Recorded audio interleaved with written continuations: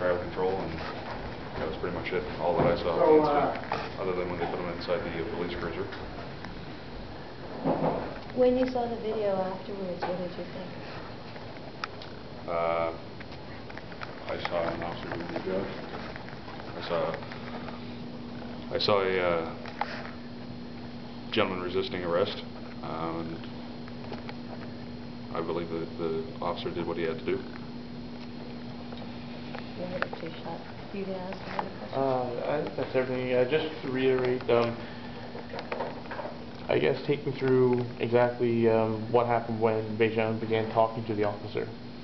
Uh, As far as the specifics go, um, I don't particularly feel like getting into it right now. Again, this was, the broad story was, he was requested to to put his hands behind his back.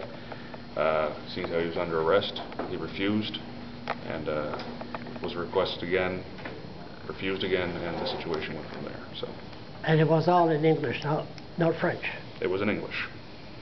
Did you think he had damaged the police car in that original? I have no idea. As I said, as I testified, I didn't expect, inspect the uh, police car. I'm sure the damage could have been done. should have been emergency warning at the start of the day. Second the lights on the line. I did not expect it, so. Have you done it two police cars? No, no, he jumped on the same police car twice. Thank you very much. Thanks